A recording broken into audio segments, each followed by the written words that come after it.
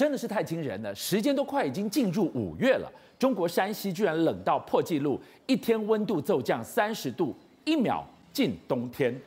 不止气温一秒入冬，中国经济也陷入了冰冻。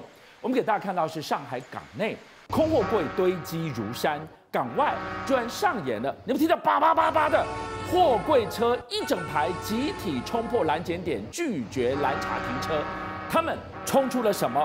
不能说的内幕。好，我们来看这件事情哦，真的四月会下雪，真的不可思议哦。前一天的温度才三十天三十度，突然之间从三十度变零度，下大雪哦。而且这雪呢一下不可收拾哦，急升到高达二十四公分。那我们说下雪有什么了不起啊？四月雪啊，哎，对不起哦，你知道现在是什么季节？现在是山西哦，这个桃子啊，还有樱桃啊，好这些所谓的这种桃类的植物呢，正在发果的时候。这一雪下去不得了，你看到没有？所有这些果园全部都积雪。那我们知道，刚刚出来的着果是最脆弱的，果子长大还有，脆弱的时候呢，这一下雪，你知道你看到这个坑坑白雪损失有多少钱吗？据保守估计哦，山西这个区域的果园呢，你看整个被淹住了，至少损失的金额是高达三千万台币啊。那不止如此，这波大雪呢，其实一直烧到内蒙古的鄂尔多斯哦。那你看到这个这个这部车怎么样？那这部车呢，直接被压被压垮的。树直接砸到车上面，整个树都弯下来了。你看哦，这个他手上去雪这么厚哎，等于他一个手掌这么高。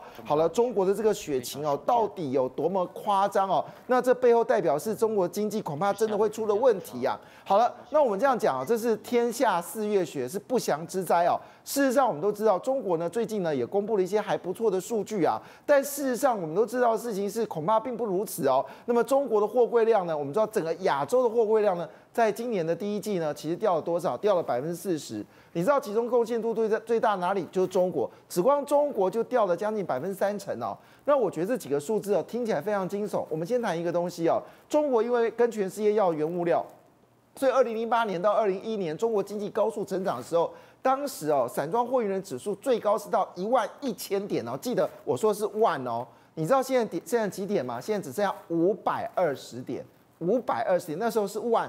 现在五百二十，等于是当时数字的百分之五。那也就代表一件事：中国经济真的起来吗？中国经济起来，这个散装货运的价格不可那么惨呢。好，散装货运做什么？就是煤炭、铁矿砂、粮食哦，大麦、小麦、玉米这些东西。所以可见一件事情：中国的经济确实令人堪忧哦。那当然回到一件事啊，你想你的这个你进口的这些铁矿石、煤炭量不大的话，你出口一定很惨嘛。所以他们现在货柜的空空置率呢，已经高达八成二了。那八成二什么状况呢？好，你知道现在这些这些货柜司机有多？可怜好不好？他们现在所得哦，一个月哦，能够有到一万块人民币就偷笑了，很多连这个钱都不够，跑一趟扣掉油钱没得赚。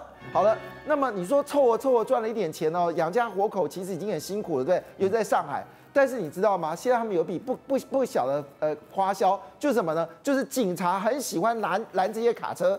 没事干拦一拦一笔钱就没有了。你知道在这个山东哦，那个卡车司机哦被拦到火大了，他直接跑到警察局跟他说：“哎，我们谈判一下好不好？干脆这样子，我先付钱，你不要拦我，我先付一笔罚款给你，好看你要多少？采月票制，每个月月结。罚款还有这种月票制，就是。”就是一直吃到饱，你不要再拦我你不要这样，你让我能够专心做生意。这个是买过路费的概念。真的，真的很夸张。所以他拿了那张月票之后，全境通行就不会有人拦他了。可是你知道，这个警察在拦的太过头了。那你刚才不讲那个八八嘛？这个是太惊悚了。这是发生在这个呃，应该在上海哦，就是一群卡车哦。你看哦，这些交警要拦这些卡车哦。你看到没有？这些卡车完全不理这个交警，其中的交警人生气拿东西出来，束手无策。而且这些叫这些卡车呢，他在过去的时候还用力扒这些交警。为什么扒交警？你罚我罚的太过头了，我们还要过活哎。好了，其实你这个画面真的很可怕，你太惊悚了，血肉之躯要去拦那个。快速开过，你看那个那个警对啊，警察火大了，砸东西，一副要把他拦下来。你看他的，连他的栅栏都都都踹掉了。岗哨都设好了，你可以知道拦检，你就可以知道这些卡车司机基本上他们多怒啊！他们已经多怒，他们已经没钱赚，还被这些交警不断的遏遏制的发发开罚单。那当然，这个情况下不止如此，我们来看啊，这是发生在玄武隧道的一件事情哦。玄武隧道呢，这个警察呢，竟然在隧道里面拦查。好，那当然呢，这这太危险了。这对，这结果发生一件事呢，有一个网约的这个货，这个这个车子哦，直接哦就直接像撞那个保龄球一样，啪就一把把一排交警给这个撞翻了。那有人解读哦，他可能有点酒驾，但问题来了，他不想罚钱，因为网约车我已经没有生意了，你还在隧道拦我，我火大了，我直接先冲在说，我先逃先逃，因为我的状况就跟那个卡车司机一样嘛。那有人说一句话说，哎，你们这个交警爱钱爱过头了。你今天在十字马路上你拦酒驾，我们同意嘛？你在小巷拦酒驾，我同意嘛？你在隧道是怎么样？是关门放狗吗？还是引军入瓮啊？所以看得出来，中国现在缺钱哦，把脑筋动到这些很辛苦的劳动朋友当中。好，我们讲到了，现在是开车的、拦查的都在抢钱，说穿了就大白话就这么样子。我们来看看支撑中国经济再缺一条腿。制造业极为关键的一个指标，伟创也是非常大的一个台厂，他们其中一间大的厂区。宣布停工这件事情带来多大的警讯？好，中国今年把它的 GDP 第一季还是做出了一点五个百分点。原谅我用说是用用做的，因为我们所有指标里面看不出来 GDP 有所增长。那你知道这个情况下，你以为只是开始吗？恐怕并不是哦。这是我们知道伟创今年股价大概涨了五成哦，因为伺服器卖的非常好。我必须先讲这句话来证明一件事：泰州厂的关厂是是意外，是不不是偶然的。我再说一个，伟创今年业绩非常好，它的伺服器卖的要伟影股价大涨。那么今年股票已经涨了百分之五十了。好了，结果呢，在股价上涨、营收增加的情况之下，它竟然把它一个非常旧的泰州厂，你看这泰厂有多大？你放眼过去都是工厂，这是它主要的这个荧幕的显示器的组装厂，非常大的面积，而且你看这个这个工厂，一看就是非常的有历史。对不起，二话不说关了。那当然关的表面，那你但是我要必须佩服这些中国劳工朋友啦，非常不容易哦。你知道吗？他们真的工作到最后一天。好下岗回家，可是一下子就增加两三千个人以上的失业。嗯，我认为这个不是偶然，这只是开始而已。像这样的老字号的工厂，他的公司赚到吐，但是依旧要关厂。为什么？因为现在的中国市场已经大不如从前。那这个情况下，你到底失业状况如何呢？好，我们现在，那你失业，好，那你怎么办？好，那至少还有个工作可以做。以前啊，在台湾呢，你失业就开计程车啊。那现在台在在中国，你失业什么？你就送外食啊。结果，哎，这画面是什么？没错，你看到这个人，他真的拿一个树干子，上面吊着点滴，他一边打点滴，一边送外卖。这个画面好惊悚，也让人看了很难过。你知道他不送会有什么代价吗？会怎么样？他会被扣款五十块。他不送，他会被扣完五十块，送也不见得赚多少钱，一趟单可能只有几块钱而已。他一天赚不到一百块，非做不可。而且你知道，他如果他持续的缺席的话，他的这个岗位就没有了，因为中国现在失业人口很多，后面排队抢着要的多。没错，美团的态度这样子，你不要后面一堆。那你知道最近在这个汕尾啊，就发生一个案例，因为实在是太苛扣这些。外送了，所以呢，而且减少他们多补贴的项目，所以他们就说好，你如果对付一两个，哦，你好对付，来，咱们做个决定，汕尾所有的外送，美团外送，我们集体罢工。你看他们就集体罢工哦，就没想到哦，这个美团呢，就从汕尾外面呢找了一群工人进来，你们、你们、你们罢工吗？我从外面进来，而且你知道最夸张的事情是什么呢？这些从外面的劳工，好，你看他们把这个欧多拜都从外地送过来，然后取代这些罢罢工的人。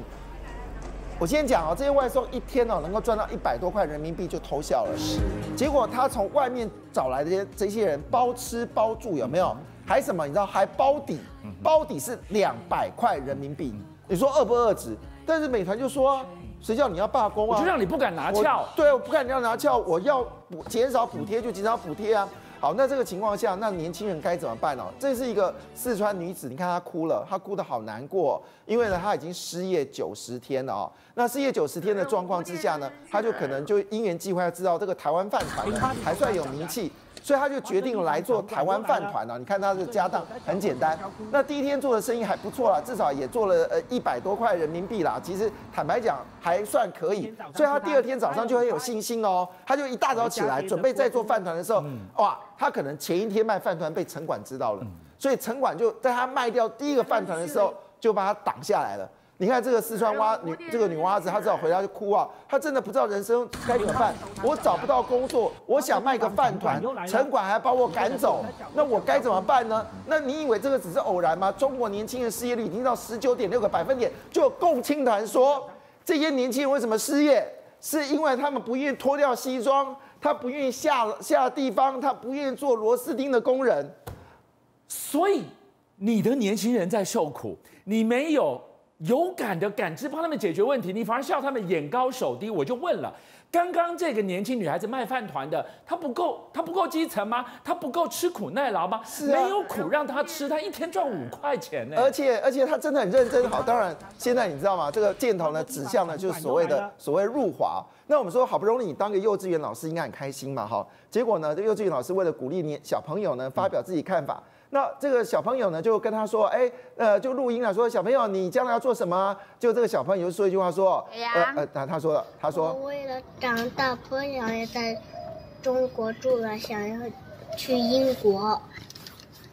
我们来上学呀！完蛋了，他会不会害死他的老师啊？害死他的老师了。结果这小朋友的实话就变成是。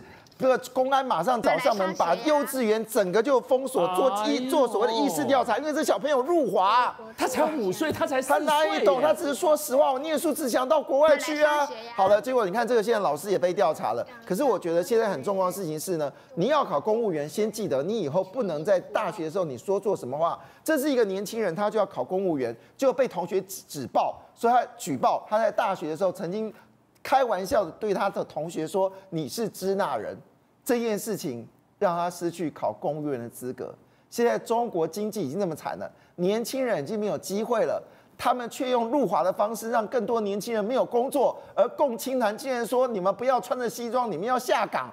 我我的妈呀，这到底这个中国的情况是怎么样子呢？邀请您一起加入五七报新闻会员，跟俊相一起挖真相。